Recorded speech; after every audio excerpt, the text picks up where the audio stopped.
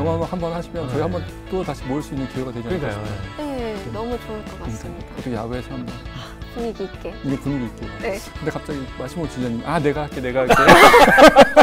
어, 어떡하지?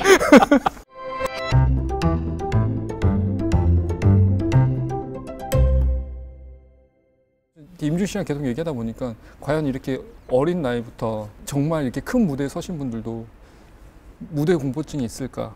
무대 공포증을 뼛속 깊이 느껴본 적은 없는데 어. 그걸 안 느끼려고 연습할 때 좀 열심히 하고 음. 다른 생각은 좀 많이 안 하려고 해요. 제가 연주할 곡 외에는 연주가 뭐 며칠 다가온다 그러면 저희도 사람이기. 때문에 음. 당연히 두근두근 음. 설레는 마음이 있기 마련인데 아, 이 공포증이 아니라 설, 설레는 마음. 두려운 마음이 있을 수도 같이. 있는데 그거를 음. 이제 설레는 마음으로 바꾸려는 어. 노력을 좀 음. 많이 하는 편이에요. 예. 음, 연주에서 이제 그런 저 사람이 떨고 있구나라고 많이 느낄 수 있는 부분이 있잖아요. 그런 분도 있고 이제 카메라에서 손을 클로즈업 했는데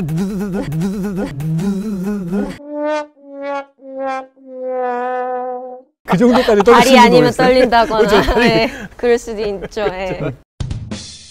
클래식이 이제 어렵다고 느끼시는 분들한테 그런 분들한테 아 그렇지 않아요. 클래식은 이렇게 이렇게 해서 정말 재밌는 음악이에요라고 할 수 있는 그런 얘기들이 있을까요? 아무래도 많이 듣는 게 가장 음. 먼저인 것 같고요. 왜냐하면 소위 말해 이제 아는 만큼 보인다라고 하잖아요. 네. 제가 아까 약간 말씀드렸듯이 이제 사람들이 어떤 곡을 너무 잘 알게 되면 여기서는 어떤 표기가 있기 때문에 저 사람은 크게 칠 거야 아니면 작게 칠 그쵸. 거야 이런 거를 이제 예상하기 마련인데 더 알다 보면 그거를 넘어서 어, 똑같은 표기인데 이 사람은 이렇게 치고 저 사람은 저렇게 치는구나 음. 소위 말해 맛이 조금 틀리다라고 느낄 수도 있고 감정도 다른 것 같고 색깔이라든지 그런 게 다르게 느껴지는데 이러면서 호기심에서부터 음. 시작되는 알고 싶은 음. 욕망이 이제 더 많이 올라갈 것 같은데 아무래도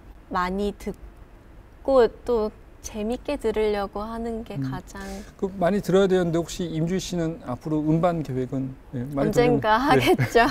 임주 씨 곡을 많이 들어야 되니까 슬슬 이제 준비를 이제 하시지 않을까 싶은 생각이 있어서요. 음. 막연하게 이렇게 생각은 해놓고 있습니다. 어, 막연하게 준비는 어느 정도. 네, 구체적으로는 아니어도요. 근데 조만간 좋은 앨범 아마 네, 들을 수 있, 있게 될것 그럴 같아요. 수 있기를 네. 기대합니다. 그리고 이제 좀 개인적인 질문인데 어. 이렇게 어릴 때부터 이제 해외도 많이 다니고 연주도 많이 다니신 분들은 연주 외에는 어떻게 시간을 보내시는지. 음. 저 정말 평범하게 지내는데요. 영화 어떤- 광입니다. 어떤 광이요? 어, 네. 어떤 광. 류의 영화를 저는 뭐. 가리지 않고 어. 다 보는데 제가 왜 영화를 보는 걸 좋아하냐면 영어 듣는 걸 좋아해요.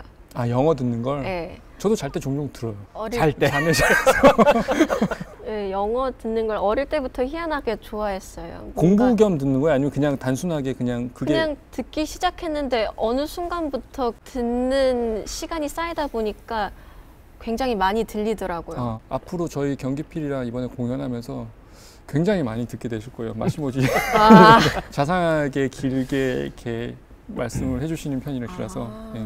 그런 기회는 충분히 많으실 거라고 보고요. 저는 좋습니다. 예. 영화 보는 것도 좋아하고 저는 강아지 세 마리를 키워요.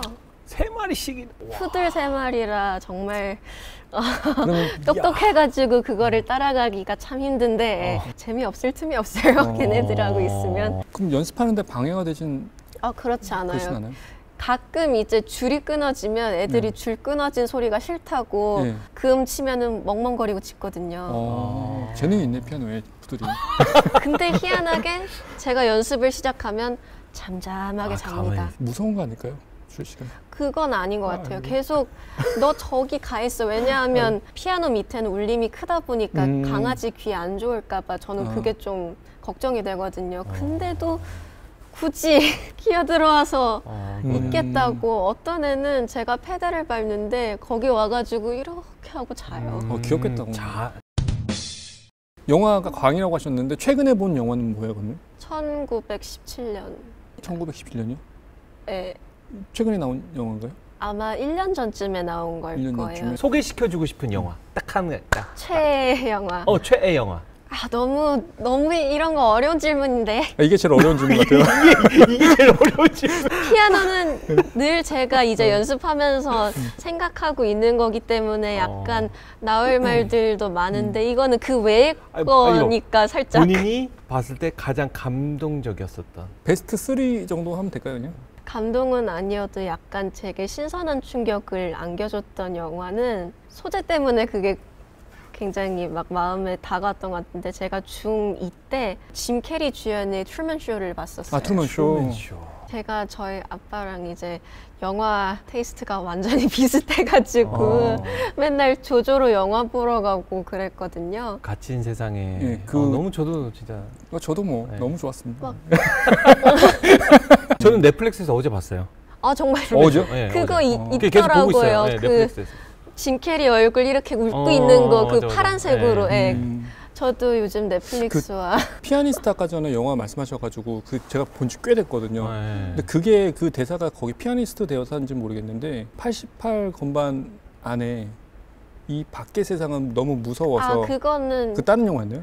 피아니스트의 전설. 아 피아니스트 전설인가 보다. 아. 그러면 그 배 위에서 이렇게 그, 사실 정말 그거 말씀해 주셔서 아? 너무 어. 기뻐요. 예. 어. 저는 그거를 10년도 넘게 전에 봤는데 그 대사 하나랑 그다음 그 배 위에서 움직이면서 피아노 치는 피아노 지금. 저는 그 부분 네. 봤을 때 그렇게 울었어요. 아 진짜로요? 그분 혼자 약간 독백하듯이 음. 연기하시잖아요. 네, 그리고 맞아요. 그 친구분은 이렇게 옆에 앉아서 이렇게 가만히 아무 말 없이 음. 듣고 있는데 이 사람은 말을 하질 않는데 자기가 막 애원하는 듯한 그 표정 게 나중- 너무 감명 그럼 깊었어요. 나중에 지휘자님과 같이 뭐 영화 음악 콘서트 할때 어, 그것도 그거 좋은. 같이 어떻게 한번 아 그것도 너무 좋은 생각 같습니다. 언제든지. 네. 예. 사실 트루먼 쇼 first 꼽고 이제 피아니스트의 전설 어. 두 번째였어요? 예, 그게 두 아, 번째. 저랑 취향이 비슷하시네요. 어.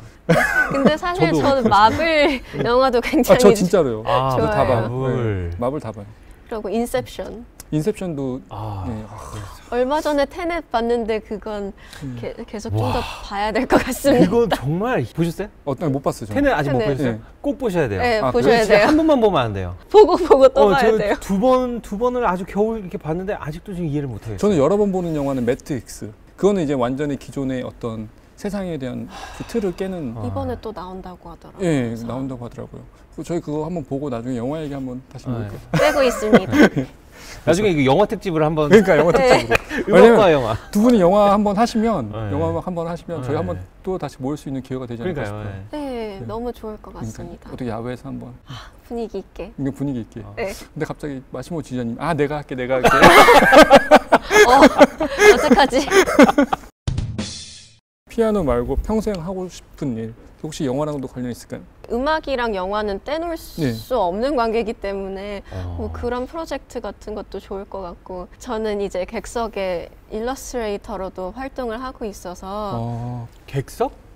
잡지에? 네, 그린다고? 네, 아티스트 에세이라는 코너가 있는데 에세이를 이제 아티스트 분들이 써주시면 제가 그분들을 이렇게 그리는 거예요. 어, 헐. 와, 진짜. 선생님들 이제. 그래야겠다. 그러니까 작곡을 그전에 전공했을 때 사람들이 물어봐요 막 이렇게 왜냐면 음악하고 미술하고는 되게 상관관계가 깊다고 네. 말씀하시잖아요 근데 꼭 음악 하시는 분들이 미술을 잘하진 않잖아요 저는 네. 그림과 네. 정말 담을 진짜 아, 네. 너무 못 그리. 이제 왜 상관 그렇게 이제- 진심으로 진심으로 못 그리니까.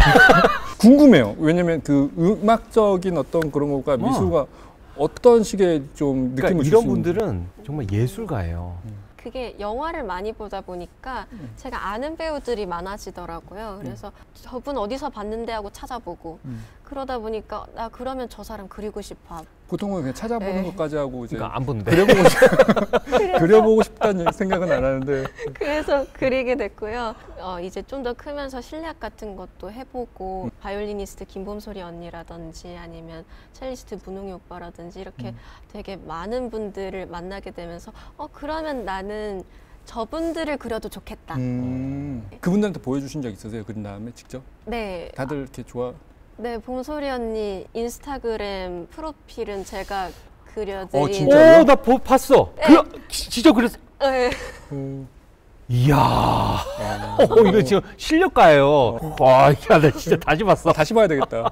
세상이 이렇게 공평하지 않아요, 사실. 아, 진짜. 너무 공평하지 아니 않고. 아니, 김봄소리 씨랑 같이 연주하신 적은 네, 서울 스프링 실내악에서 2017년이었을 거야 음. 아마 코른골트 이제 quintet 바이올리니스트 장유진 언니랑 아, 김봄소리 언니 비올리스트 이승원 오빠 음. 문웅이 오빠 이렇게 같이 다 오빠 언니. 아니, 근데 그분들도 되게 내가, 젊으신데. 내가 진짜 내가 그- 승원 씨도 되게 좋아하거든요. 네. 그러니까 다 끼리끼리 노는 것 같아. 아, 저희 앞으로 한국 클래식 음악이 한 30년은 거뜬할 것 같아요. 아, 진짜, 계시니까. 아, 나 진짜 그럴 수 너무 있도록 열심히 너무 하겠습니다. 뿌듯하고 정말 자랑스러, 아, 부럽습니다. 지금. 사실 이제 마지막으로 저희 임주 씨가 저에게 이제 들려주고 직접 한번 말씀해 주시고 마무리하겠습니다. 제가 오늘 들려드릴 곡은 라벨 쿠프랭이 무덤에서 토카타 6번인 토카타를 이제 연주를 해드리려고 하는데요. 사실 이게 여섯 개 음, 번호 다 라벨이 친구들에게 헌정이 되었어요. 근데 그분들이 제 1차 세계대전에서 음. 다좀 전사하신 분들에게 헌정이 음. 된 곡들인데 사실 이 곡을 들어보면은 그런 거를 추모하는 곡이라고 생각이 약간 안 들 정도로 약간 오묘한 분위기를 주는 음. 곡이라 6번은 이제 어떤 분위기일지 한번 즐겁게 지켜봐 주시기 바랍니다. 감사합니다. 저희 다음 시간에 다시 한번 네, 찾아뵙겠습니다. 네, 감사합니다. 감사합니다.